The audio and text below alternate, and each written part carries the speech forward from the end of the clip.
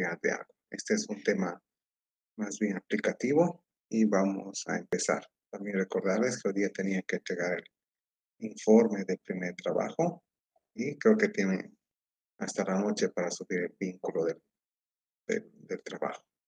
¿no? Entonces vamos a empezar. Voy a compartir mi pantalla y voy a grabar la clase.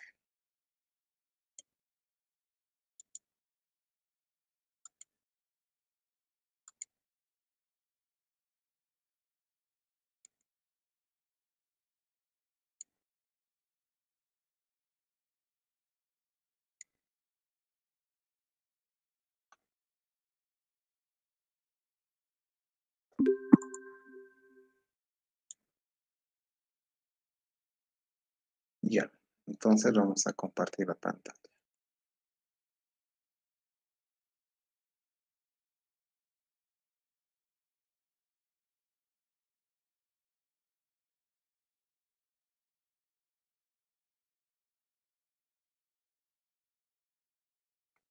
Bueno, el tema se llama abastecimiento y distribución de aguas. Tiene que ver con el consumo de agua, tiene que ver con la responsabilidad que tenemos con el consumo de agua. Entonces, lo primero que vamos a ver es lo que es el ciclo hidrológico. En realidad puede que sea un repaso para ustedes. La mayoría ya conoce el ciclo hidrológico desde la escuela prácticamente.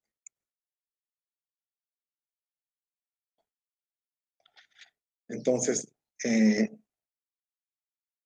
el ciclo hidrológico tiene que ver con la transferencia de agua a nivel del, planeta, ¿no? Entre lo que son el vapor, el agua líquida, el agua sólida.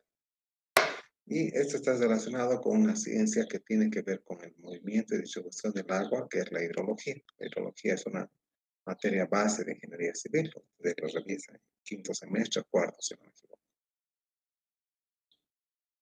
El ciclo hidrológico se, define por los caminos por donde el agua se mueve y se distribuye en todo el planeta. Es decir, por dónde va el agua. Y la cantidad de calidad de agua varía de acuerdo a dónde esté el agua en el ciclo hidrológico. Tenemos aquí un esquema, por ejemplo, que nos muestra cuáles son los grados, digamos, a las, los órdenes de, transferencia. Tenemos números aquí en el esquema y eso están representados, representan a los valores por 10 a la 12 metros cúbicos por año. Entonces, ¿qué podemos decir? Que tenemos precipitación estimada en los mares de 410 por 10 a la 12 metros cúbicos año. Y sobre el, continente, estimada en 10 a la, en 108 por 10 a la 12 metros cúbicos por año. Entonces, sumando esta precipitación nos da aproximadamente 518, ¿no? Y también tenemos evaporación, evaporación que viene más que todo de los océanos y evapotranspiración que viene también de las plantas, ¿no? La evaporación es en el orden de 456 por 10 a la 12 metros cúbicos por año y la evapotranspiración que viene de las plantas, del suelo, cerca de 62. Entonces, lo primero que vemos que gran parte del, del circuito del agua se da en teoría en los mares es decir, sobre los océanos, tenemos evaporación, tenemos eh, precipitación. Y sobre los continentes es, es un poco menos, ¿no? De hecho, sobre los continentes llueve 108 y evapora 62.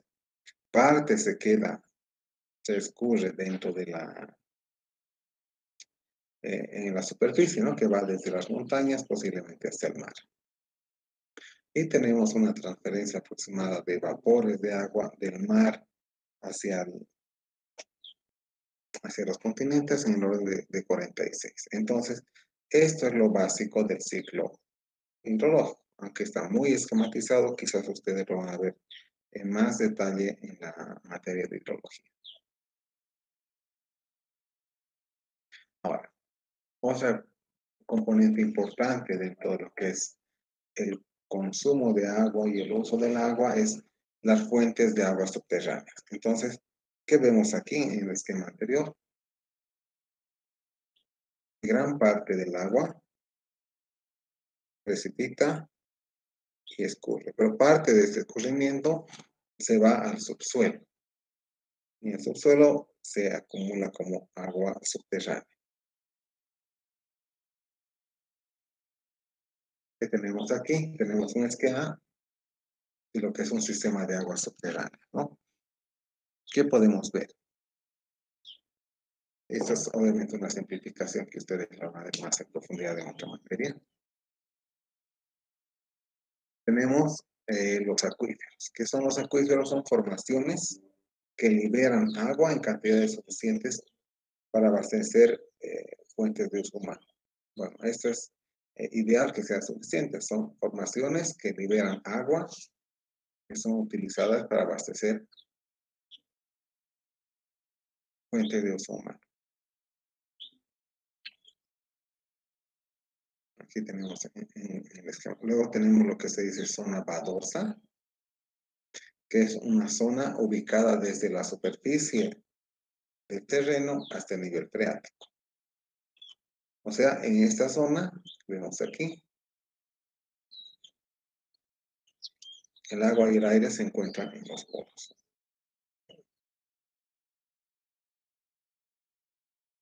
Encima de, la zona, zona eh, puede haber vida, especialmente plantas, animales. Y aquí hemos hablado de nivel freático. Nivel freático se refiere a la profundidad en el suelo, en la cual la presión de los poros es igual a la presión atmosférica. Entonces es la profundidad a la cual la humedad no sube más arriba.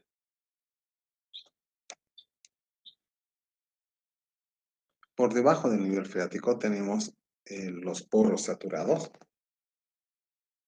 y tenemos los poros bajo presión positiva. ¿Qué implica presión positiva? Que si se hace una perforación y el para extraer agua más que todo y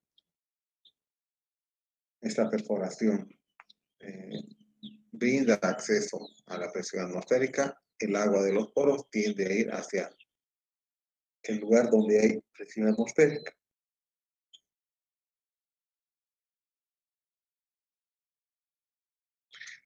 Entonces, por eso dice que tiene presión positiva. Entonces, aquí tenemos eh, la zona badosa.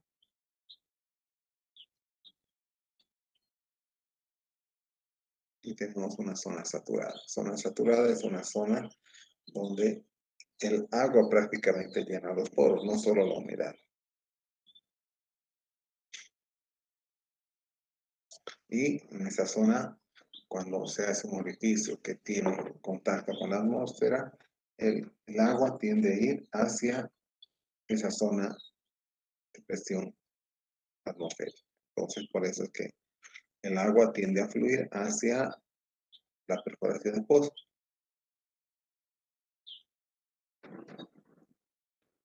Por debajo del nivel freático, de aquí para abajo, el medio el medio poroso se satura y el agua de los poros está bajo presión positiva.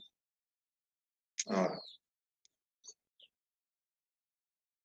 parte del agua que se infiltra en la zona badosa, es decir, se puede evaporar hacia los poros o se puede salir por las raíces de las plantas. Es decir, parte de la humedad aquí puede ser absorbida por las raíces y de ahí puede evaporarse o puede directamente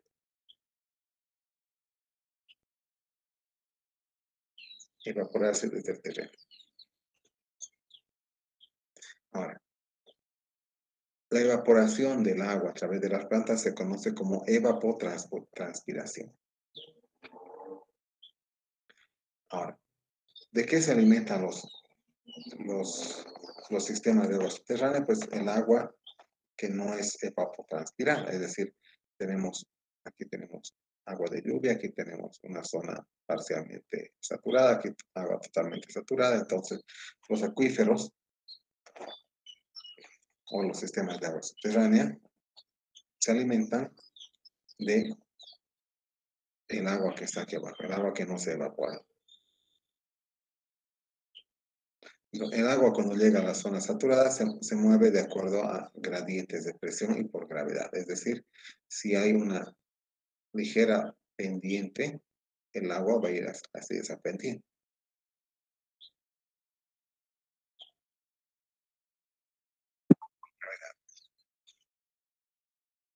Luego, también el agua subterránea puede llegar a ríos. Aquí tenemos un agua, un río que cuyo lecho pasa el nivel, está por debajo del nivel freático, entonces prácticamente va a estar siempre recargado.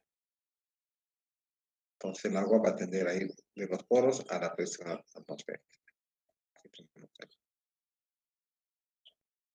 De esa manera el agua subterránea siempre contribuye a lo que son ríos y corrientes de agua.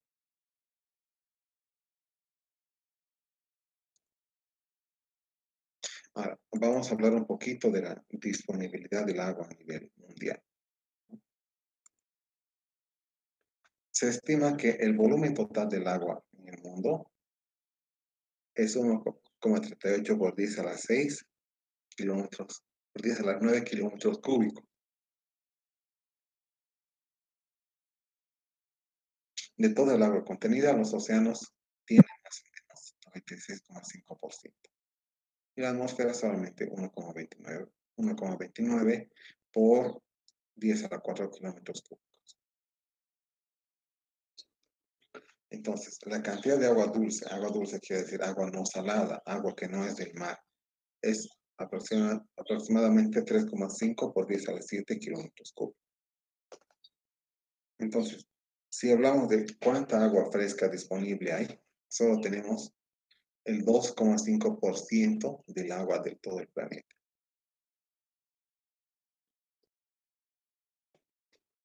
de este 2,5%, más del 60% se encuentra como glaciares y capas de hielo, que actualmente está en proceso de deshielo. Entonces tenemos aquí un, esquema, ¿no? El porcentaje total del agua dulce o agua fresca en, en el planeta está cerca de 3,5 por 10 a la 7 kilómetros cúbicos de esos glaciares y nevados permanentes ocupan el 68, casi 69%.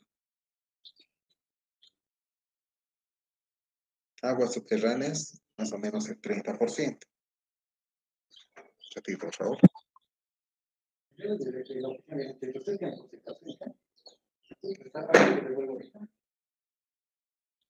Aquí estamos viendo, ¿no? O sea, 68 casi 69%, está como glaciares y nevados permanentes.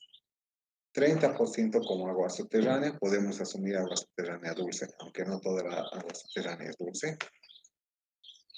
Lagos, 0,26%. Humedad del suelo, 0,05%. En la atmósfera, 0,04%. En los pantanos, 0,03%. El agua biológica, es decir, el agua disponible en los organismos, en las células, es 0,03% y en los ríos mucho menos, 0,006%. Esto de acuerdo a datos del año 2003.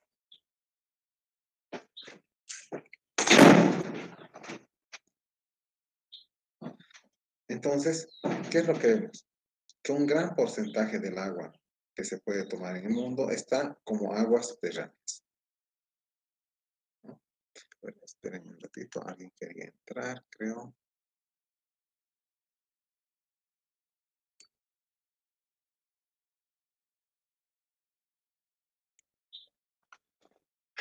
Ronaldo Jiménez tiene que tener su cuenta institucional sin interés. Seguiremos.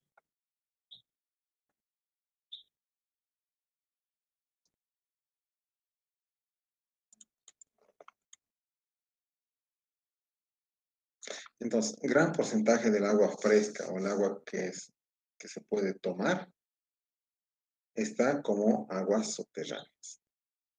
¿no?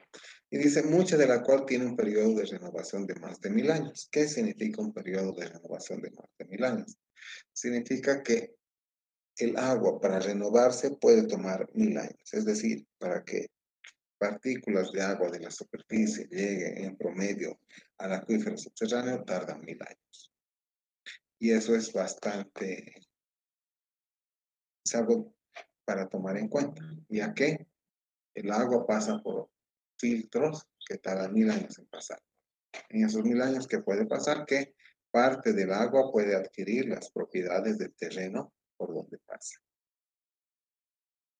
O sea, es decir, si tenemos un metro cúbico de mil litros, esos mil litros de agua han sido, han llegado al acuífero mil años atrás. Pero otra cosa anecdótica es que cuando extraemos agua subterránea, lo hacemos mucho más rápido.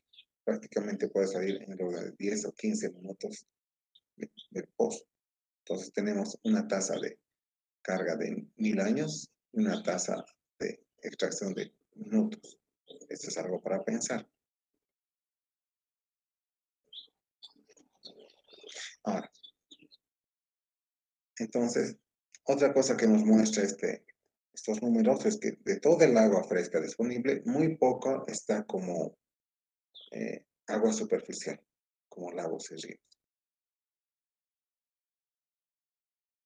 O sea, más está como agua subterránea profunda. Si es que vemos la distribución del agua subterránea a lo largo del planeta, vamos a ver, también considerando dónde hay más exploración de pozos de agua, que el continente americano tiene más o menos más agua que los otros, que los otros continentes. Vamos a ver en el siguiente.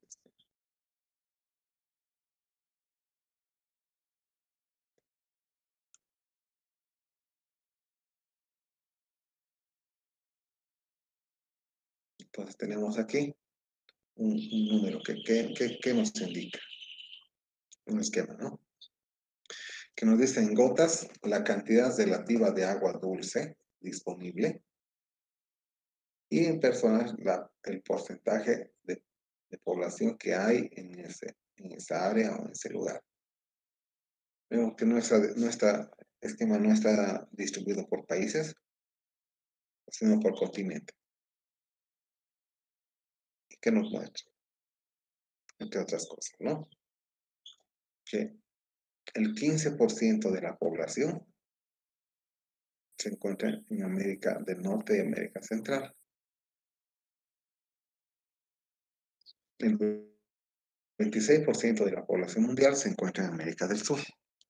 El 11% de la población mundial se encuentra en África. El 13% de la población se encuentra en Europa el 60% de la población se encuentra en Asia, ahí es donde está China e India. Y menos del 1% de la población se encuentra en Australia y Oceanía. Por otro lado, nos indica que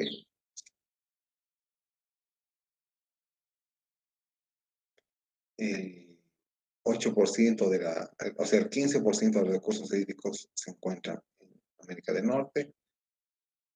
El 26% de los recursos hídricos se encuentra en América del Sur.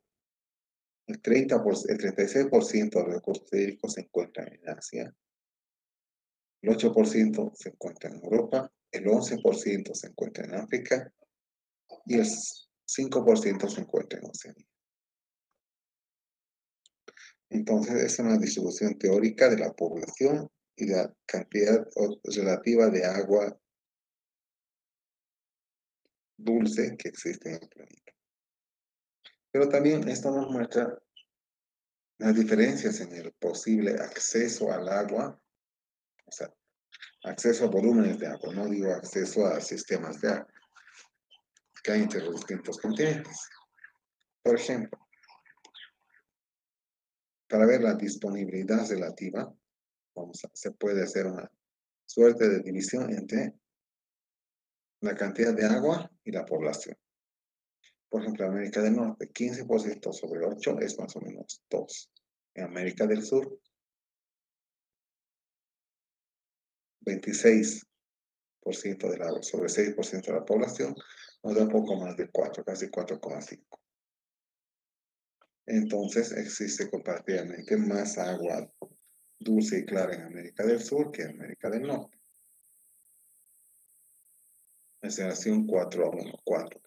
Si en África tenemos 11% de agua contra 13% de población, y eso más o menos nos da menos de 0,9 quizás.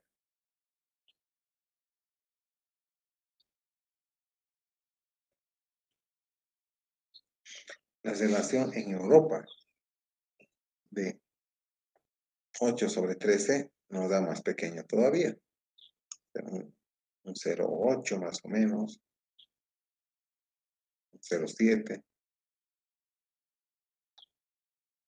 En Asia tenemos 36 contra 60, más o menos 0,5. Y en Oceanía 5 contra menos de 1 tenemos 5. Entonces, posiblemente, ¿dónde hay más agua relativamente? En Australia y Oceanía. Después en Norteamérica. No, después es en Sudamérica. Y después en Norteamérica. Y los otros continentes prácticamente están en escasez. Pero esta distribución no es tan real, ya que esta es una distribución más o menos estadística, pero no significa que todas las personas de América del Sur tengan más agua que todas las personas de América del Norte, sino que en conjunto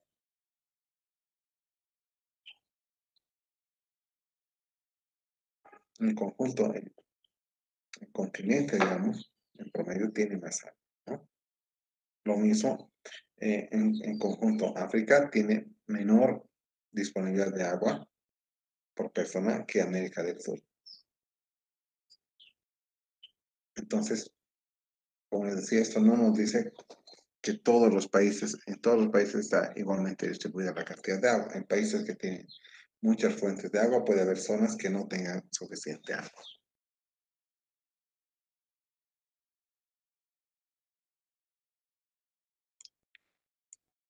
Los usos del agua, vamos a ver. Ah, los usos del agua son variados. Sin embargo, los más conocidos pueden ser uso domiciliario, o comercial, uso industrial, agricultura y uso en ecosistema.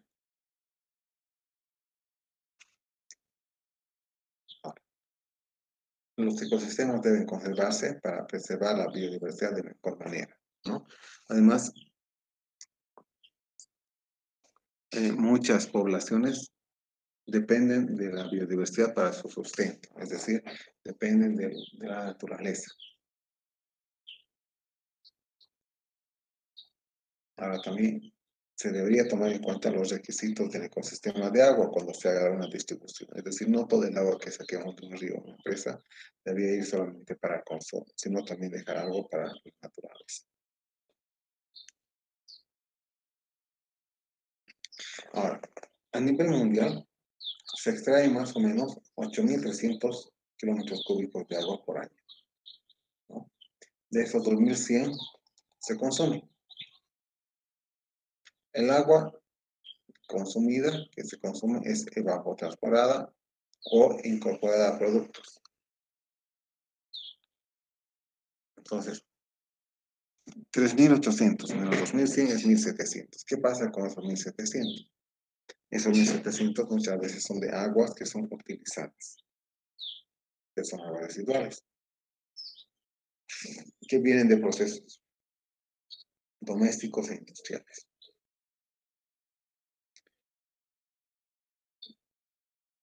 Este, este volumen posiblemente no va a ser reutilizado directamente, sino debería pasar por un tratamiento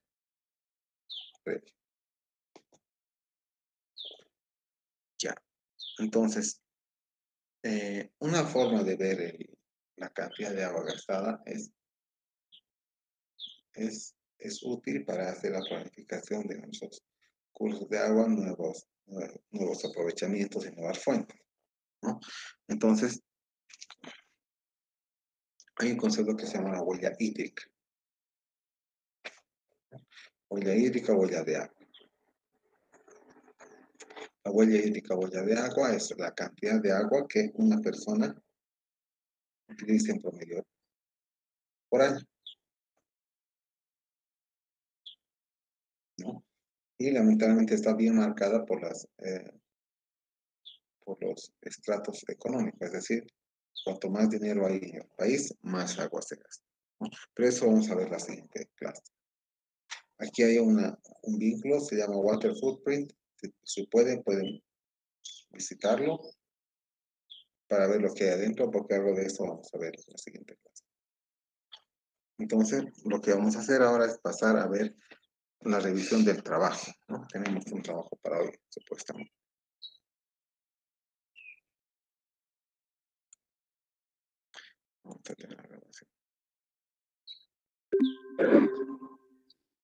Ya.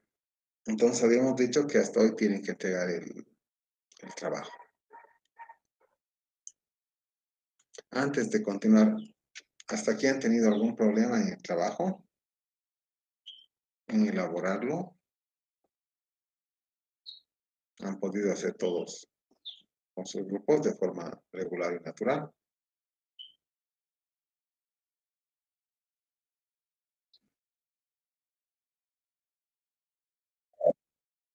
Sí, adelante.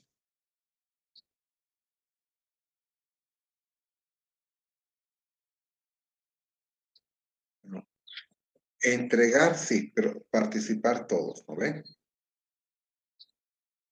Sí, una, una sola persona es suficiente, porque si no, puede tener duplicados y es más complicado borrarlos, eliminarlos.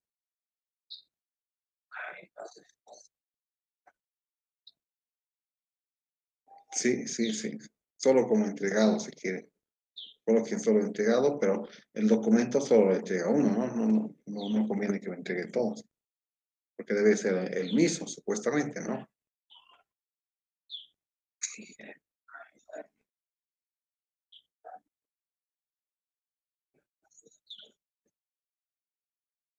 Eso, si ves la instrucción, es el informe hasta las 3.45 y el video hasta la medianoche, si, tienen, si quieren corregirlo, aumentarlo. Pero si, si, si han eh, ingresado ya a la tarea, pues está bien, no, no hay problema. ¿Alguna consulta más?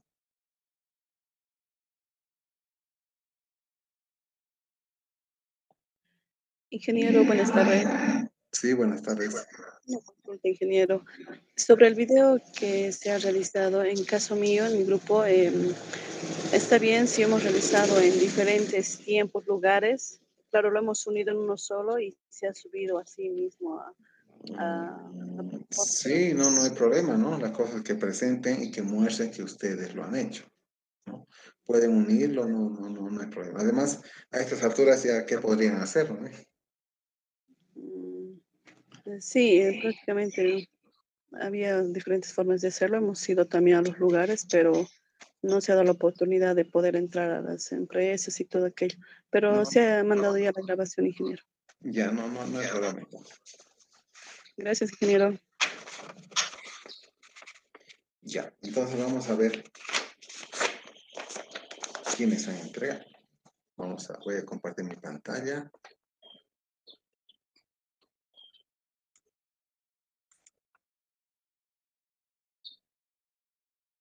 Y nos vamos a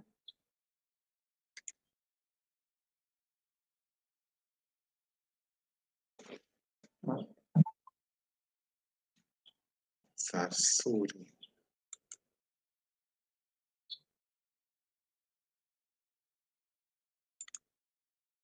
Ya.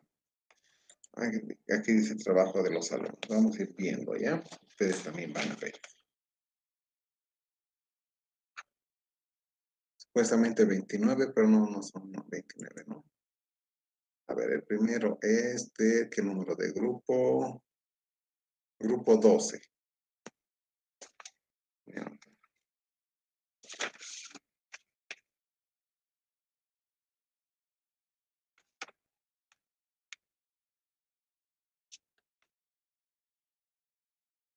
el grupo 12 está bien entregado.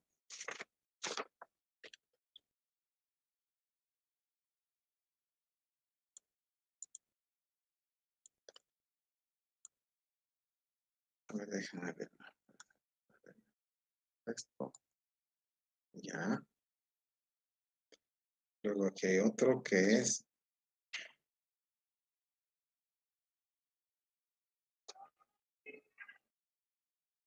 Grupo 4. Entregado.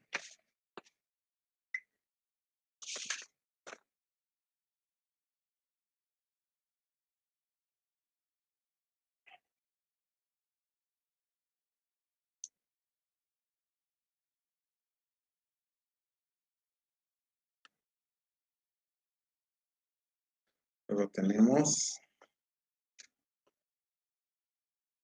Grupo 8 también entregado.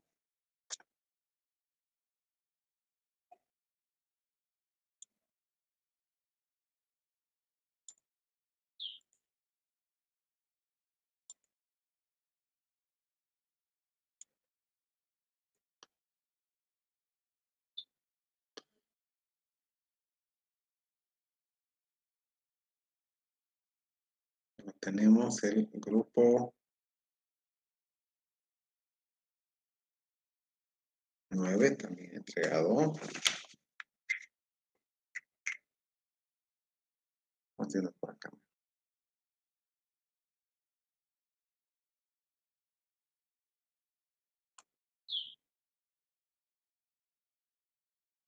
No hay ningún archivo. Aquí, ¿qué grupo es este? Grupo 13, también entregado.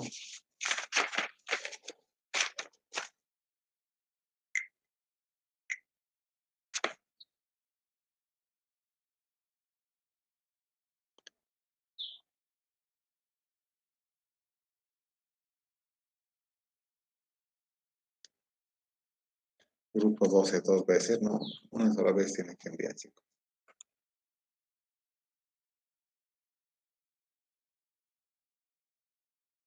A ver, dice aquí, veamos cómo me deja abrir.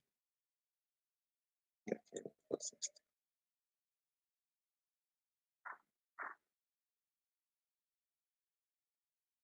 Grupo 7 también entregado.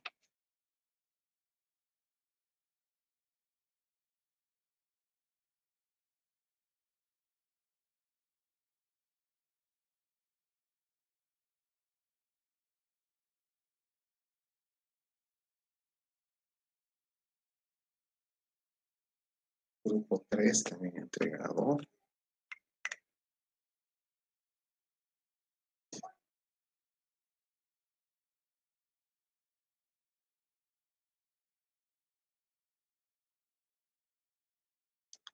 Grupo 14 también entregado.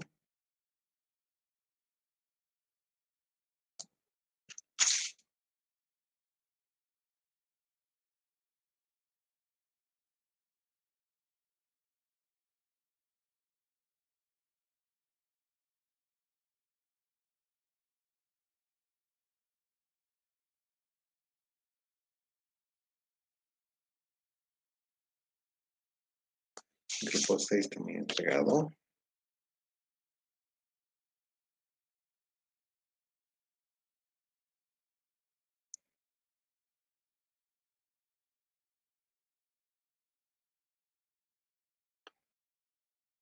Grupo 15 también entregado.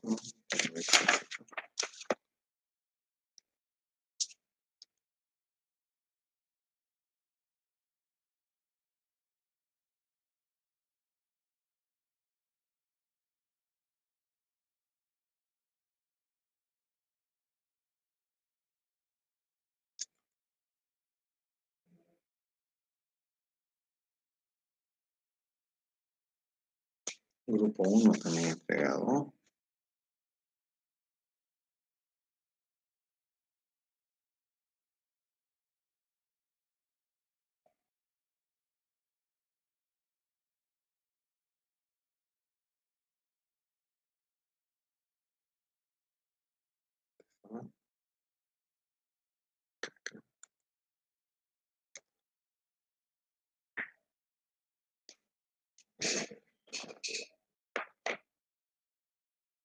1 ya está.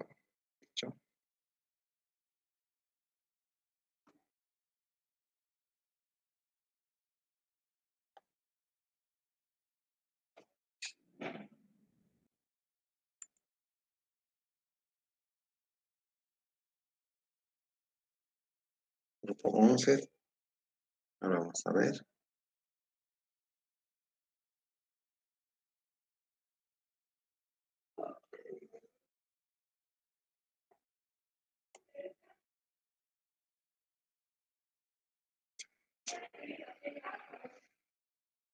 Grupo 11 también está.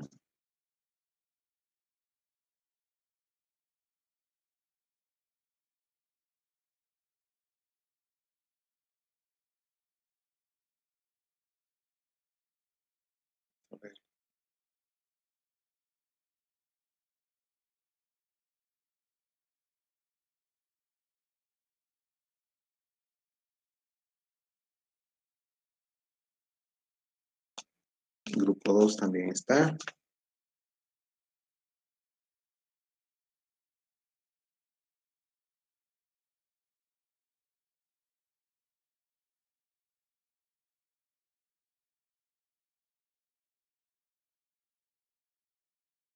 5 también está. Vamos a ver.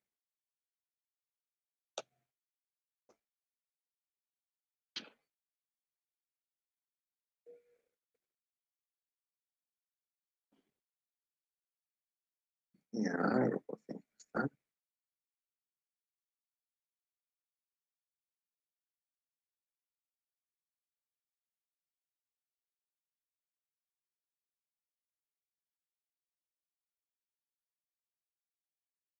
¿Cuál más está? Esos son todos. En teoría falta el grupo 10. Inge, disculpe, yo lo he. No lo he revisado. ¿Cuál es tu nombre? Lilian Maura González Martínez. A ver, vamos a ver.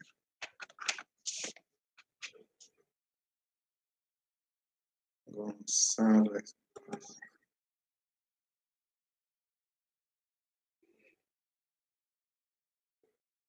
Ah, parece que sí.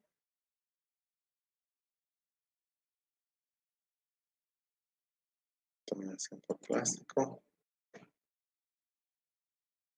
10 está bien. Entonces tenemos al grupo 10 también. Entonces tenemos a todos los grupos que se han comprometido que iban a entregar.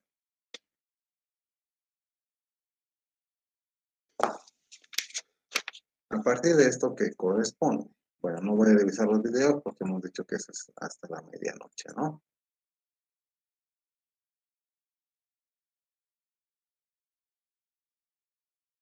Pero...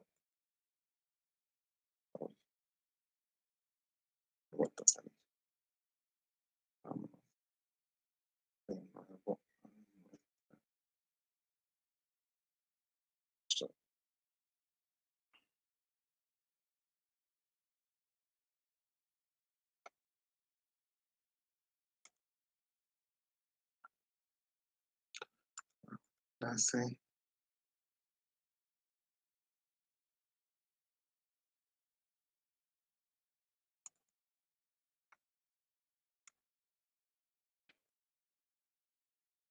Ya, entonces tenemos todos. Entonces lo que vamos a hacer es vamos a decidir cuáles voy a revisar. De hecho, todos los videos voy a revisar.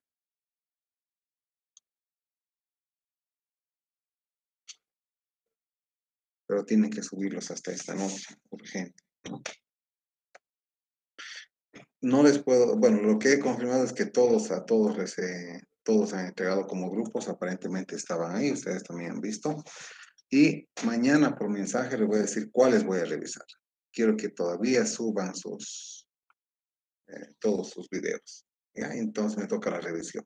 Y voy a revisar la mitad de los trabajos de informe y todos los videos. Y ahí va a salir su nota del primer trabajo. ¿Tienen alguna consulta, pregunta hasta ahora?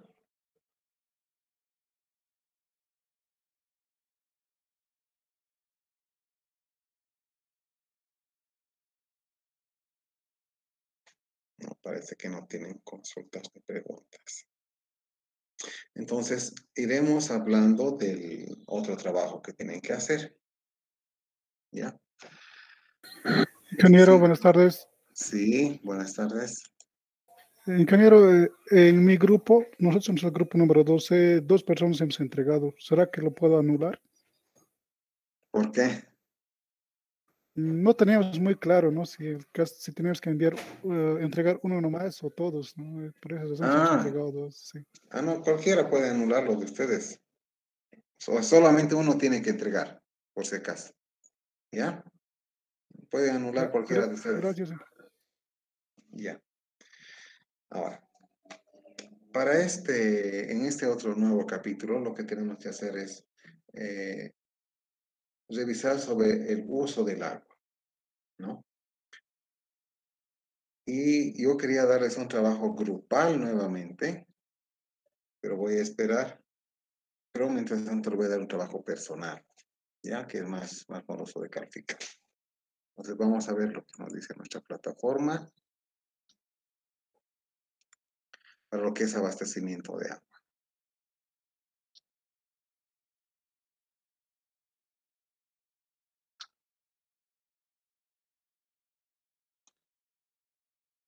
Un ratito, abastecimiento de agua. Ya. En abastecimiento de agua, ¿qué vamos a hacer?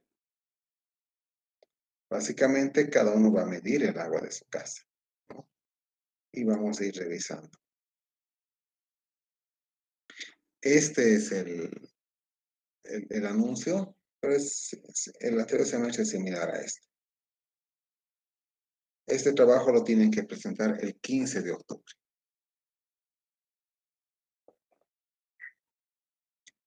¿Qué es lo que se tiene que hacer? Aquí dice uno, pero lo mismo puede ser dos, porque el, el, el enunciado es el mismo. Lo que queremos es que ustedes, como alumnos, puedan eh, medir cuánta agua consumen en su domicilio. Y a partir de esto, estimar cuál es la dotación que reciben. ¿Ya? Entonces, lo que, se, lo que queremos es que durante unas semanas se mida cuánta agua se consume en su casa.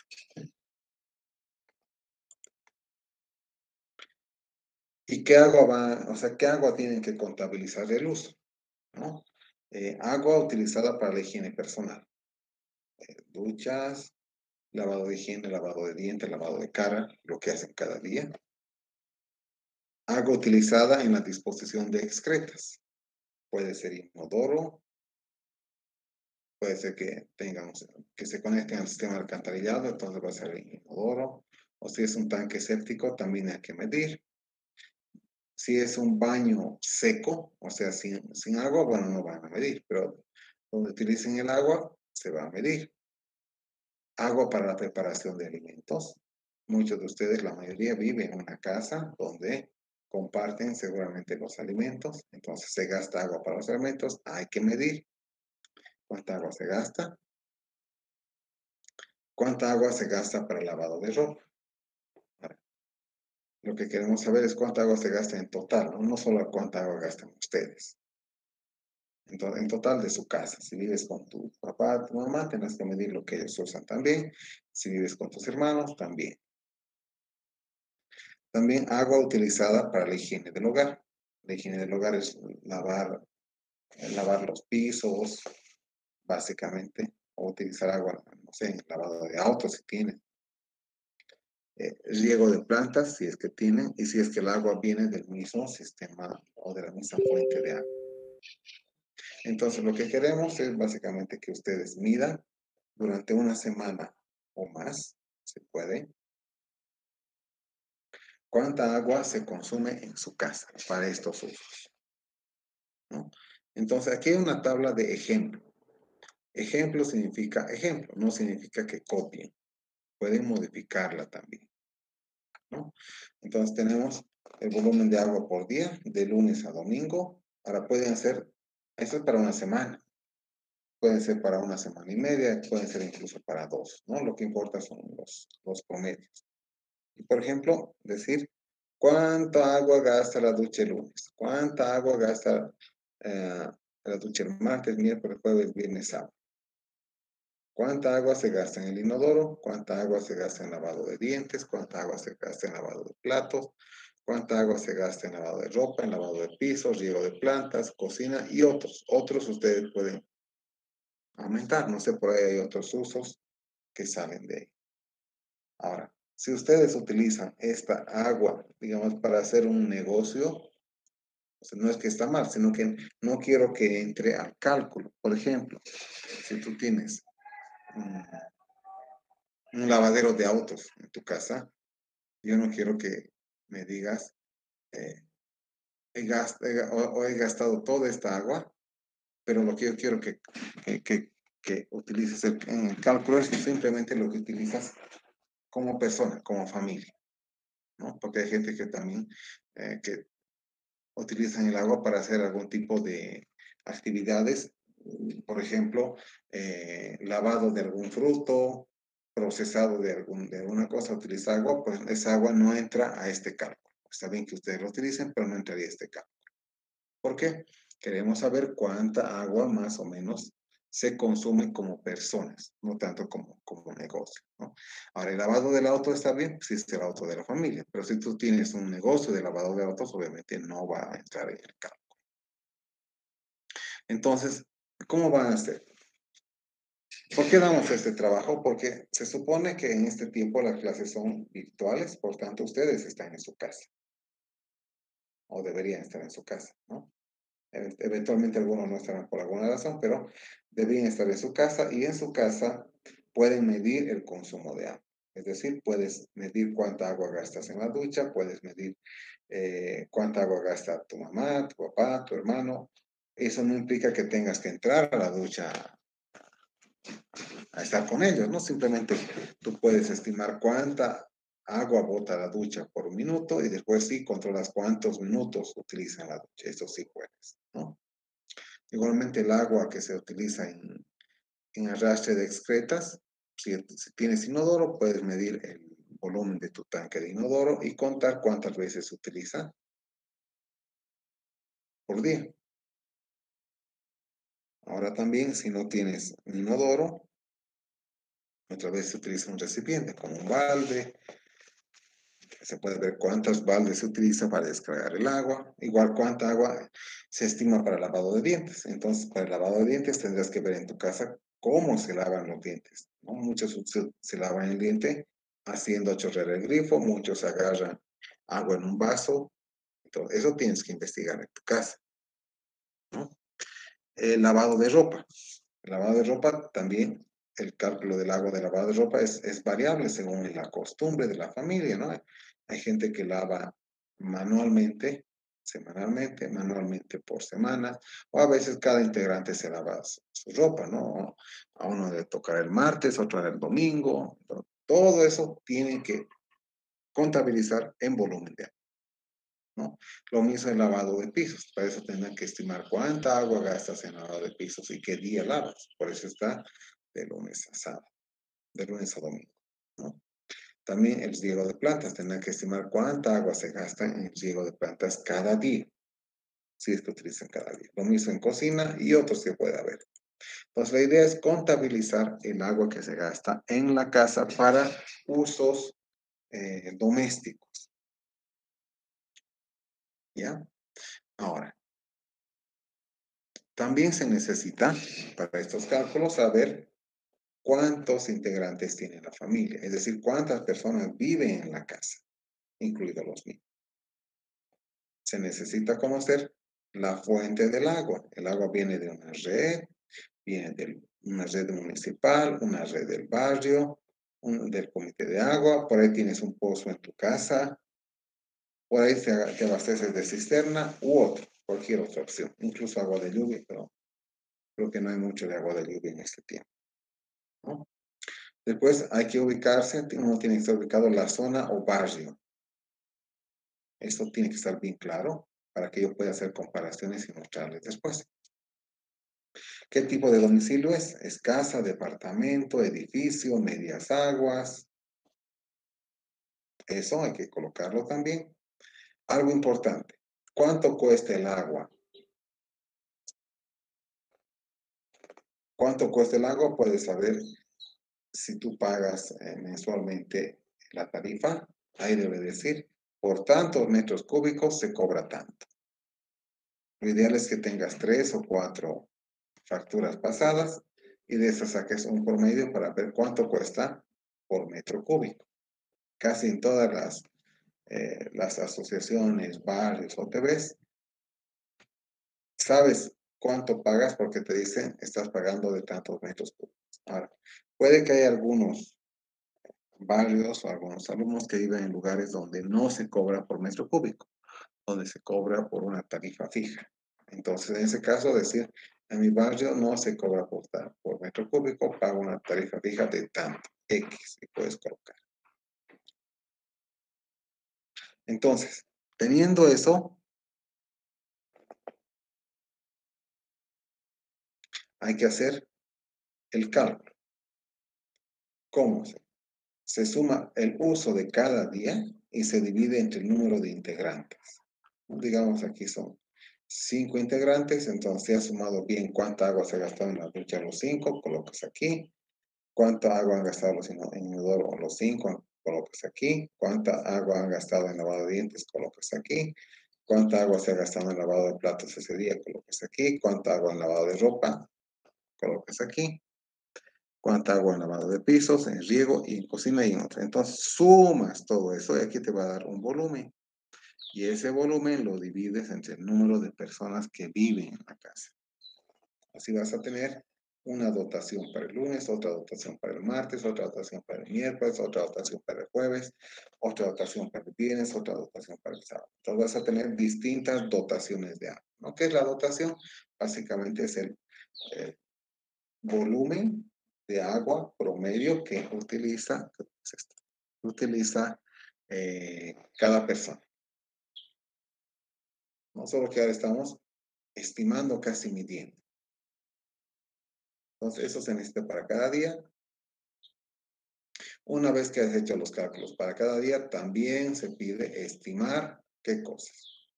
La cantidad de agua utilizada en el domicilio. Todo el agua que han utilizado en la casa en la semana. Luego ver si hay diferencias entre algunos días. Días de fin de semana y días de semana. Y también responde lo siguiente. La dotación promedio en días laborables. Días laborables son días donde regularmente se trabaja. Puede ser de lunes a viernes, o lunes a sábado, según la vocación de la familia, según el tipo de trabajo. ¿no? La dotación en fin de semana, que tendría que ser distinta de la dotación de días de semana. La dotación promedio, es decir, el promedio de todas las dotaciones. Y luego a partir de, de eso, de la tablita, estimar qué días se usa más agua.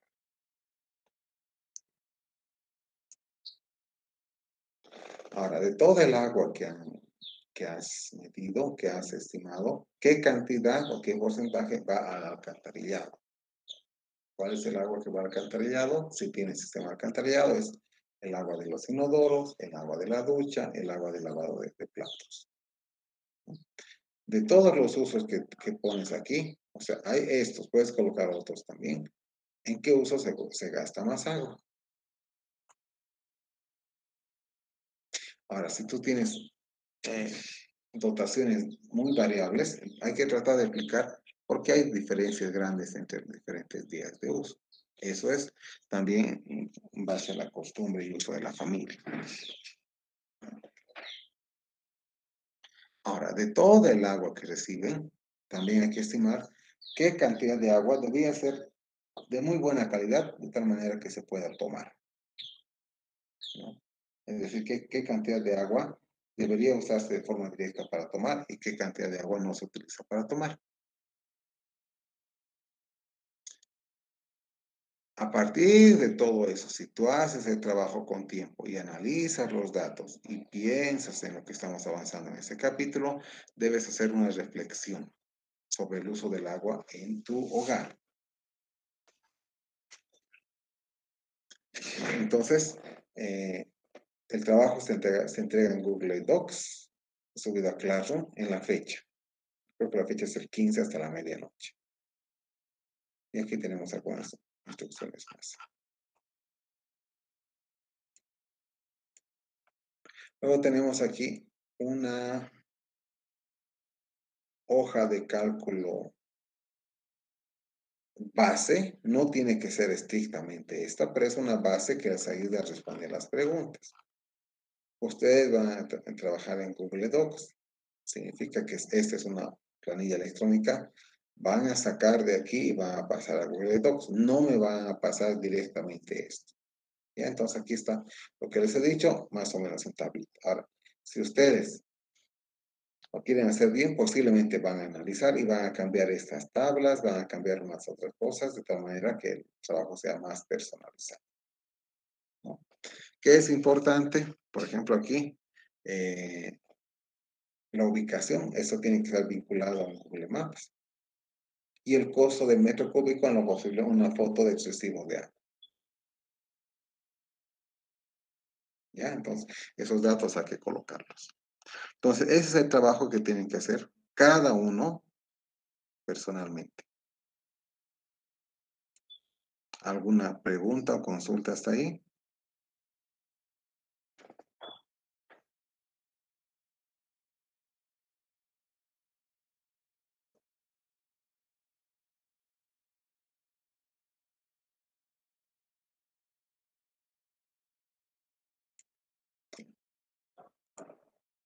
Entonces tienen tiempo de ir eh,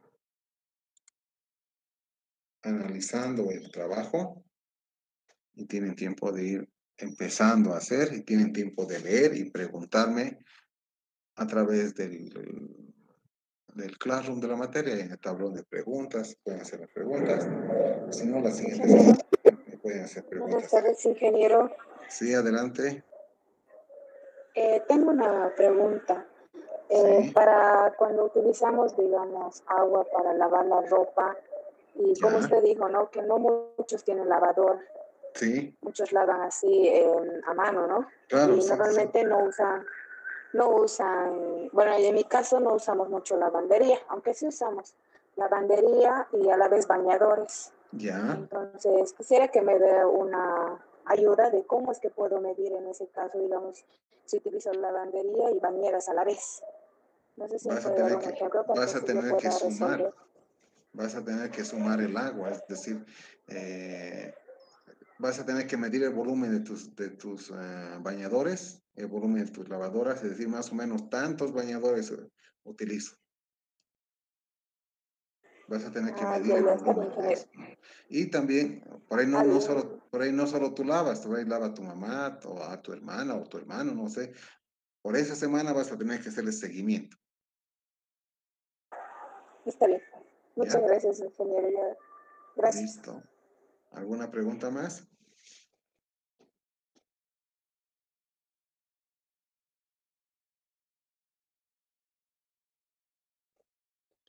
Ingeniero, yo tengo una duda. Sí, adelante.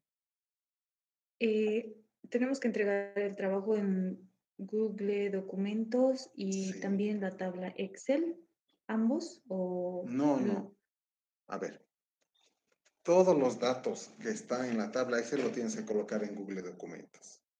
¿Ya? Ahora, puedes colocar los dos, pero es más, eh, es más fácil de leer si lo haces en un documento redactadito. ¿no? Obviamente, puedes utilizar esa tabla, eh, te, va, te va a orientar más. Si quieren, pueden enviármela. ¿no? De todas maneras, eh, a veces es más trabajito de revisar pero todos los datos que, que, se te piden en la tabla tienen que estar en tu, en tu documento Google. Si quieres, presenta las dos, pero yo preferiría que me presente todo colocado en Google Documentos. Está bien, gracias. ¿Listo?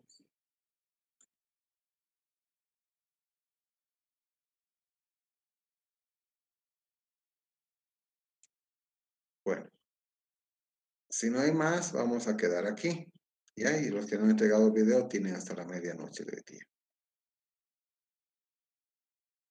Gracias. Entonces, hasta luego. Nos vemos. Hasta luego, Inge. Hasta luego, Inge. Hasta luego.